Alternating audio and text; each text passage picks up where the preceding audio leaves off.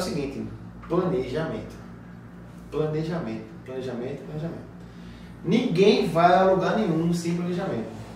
Você tem que passar a gastar menos do que ganha. Você tem que criar o seu orçamento e o orçamento tem que caber dentro do seu dinheiro, ou seja, só o planejamento. Você tem que melhorar a sua saúde, você tem que se planejar, acordar cedo e fazer exercício físico. Você quer, quer melhorar a sua mente, você tem que planejar, ler mais livros. Você quer empreender, quer abrir um negócio, você tem que fazer um plano de negócio, mas um planejamento, eu, eu acredito que está atrelado aí a muitas coisas da nossa vida.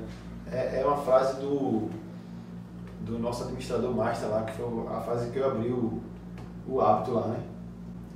Não se, não se pode controlar, não se pode medir aquilo que não se pode controlar.